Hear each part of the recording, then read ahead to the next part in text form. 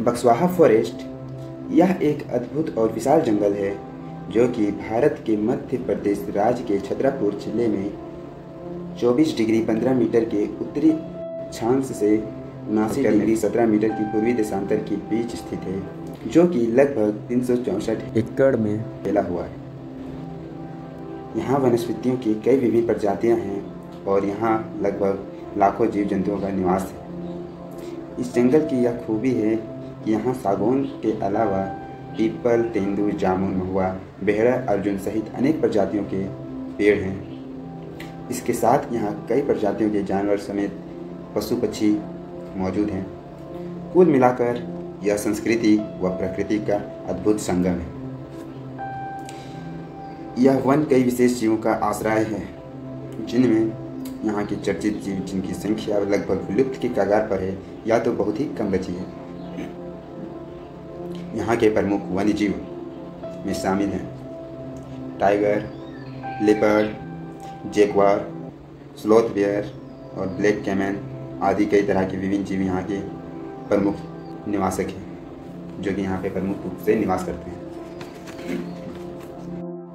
यह वन अपने आप में एक स्वर्ग है, जो कि पूर्ण रूप से प्राकृतिक सुंदरताओं से भरपूर है।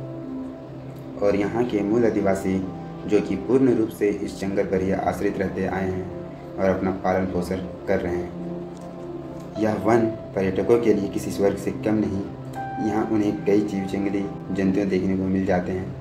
वो भी अपने नेचुरल हैबिटेट में। यहाँ सालाना कई टूरिस्ट आते हैं, जो कि कैंपिंग व वाइल्ड ट्रैकिंग के दीवाने होते हैं। वाइल्ड फोटोग्राफर भी यहाँ पर अपना शटर लगाते हैं। क्योंकि यहाँ की भौगोलिक परिस्थिति जीवों के लिए आनंद प्रिय है, जिस कारण यहाँ आपको कई जीव जंतुओं को मिलने की संभावना बहुत ही अधिक होगी। और आप उनकी अच्छी तस्वीरें ले पाएँगे। बेतवा नदी इस जंगल से होकर गुजरती है और यह लगभग सभी जीव जंतुओं के समेत यहाँ से लगभग कुछ दूरी पर बसे गाँव बुंदेलखंड भी पूर्ण रूप से इसी नदी पर आश्रित हैं और समेत इस जंगल के सभी वन्य जीव जंतु भी इसी नदी पर आश्रित हैं। यह नदी इन जंगलों पर बहुत ही गहरा प्रभाव डालता है। इसके ना होने से, मानो तो यहाँ पर कुछ भी वन्य जीव जंतु का जीवन संभव ही नहीं है। लेकिन कुदरत ने इस नदी को इस वन्य से गुजारा है, जो कि यहाँ के सभी जीव जंतु को एक संतुलन पर्यावरण प्रदान करता है।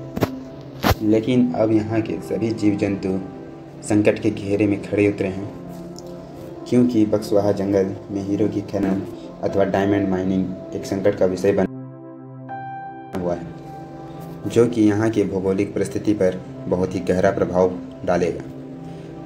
एक अनुमानित सर्वे से डायमंड माइनिंग में लगभग दो लाख पंद्रह हज़ार से भी अधिक पेड़ों का कटाई होगी, जो कि ये वन का लगभग सभी पेड़ इनमें शामिल हैं। मतलब यूँ बोले तो पूरा जंगल का ही सफाया किया जाएगा, जिससे यहाँ पे रहने वाले वन्य जीव जंतुओं पर इसका बहुत ही भयानक प्रभाव पड़ेगा। यहाँ से 20 किलोमीटर दूर Panna national park, tiger reserve sanctuary, इस पर भी इसका बहुत ही गहरा प्रभाव पड़ेगा, क्योंकि एकाएक भौगोलिक परिस्थिति पूर्ण रूप से चेंज हो जाएगी। प्राकृतिक अपना रूख बदलेगा, जिसके फलस्वरूप एक भयानक परिणाम निकलेगा। और जो जंतु, जीव जंतु हैं, इस वन पर पूर्ण रूप से आश्रित हैं और यहाँ के मूल निवासी हैं, उन पर भी बहुत ही गहरा प्रभाव डालेगा। साथ ही साथ इसका प्रभाव पूरे पृथ्वी पर देखने को मिलेंगे। यह माइनिंग प्रोजेक्ट बहुत बड़ी मात्रा में ग्लोबल वार्मिंग को बढ़ावा देगा। वायुमंडल में कार्बन डाइऑक्साइड की मात्रा को तेज़ी से इजाफा करेगा ऑक्सीजन का स्तर भी घटेगा और पारिस्थितिक तंत्र को एक चुनौती मिलेगी। पर्यावरणों को कई रूपों में क्षति होगी। फलस्वरूप, यह संसार को विनाश की ओर ले जाएगा और कई तरह के आपदाओं को निमंत्रण देगा।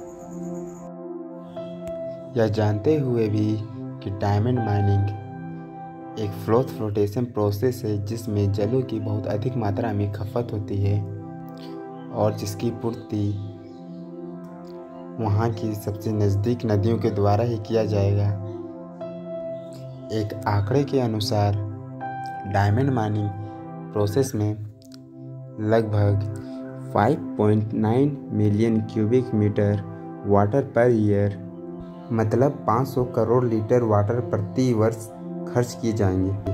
तो आप समझ ही सकते हैं कि जलों की कमी से भी यहाँ के जीव जंतु और बाकी के आसपास के सभी गाँवों को कितना कठिनाइयों का सामना करना पड़ेगा।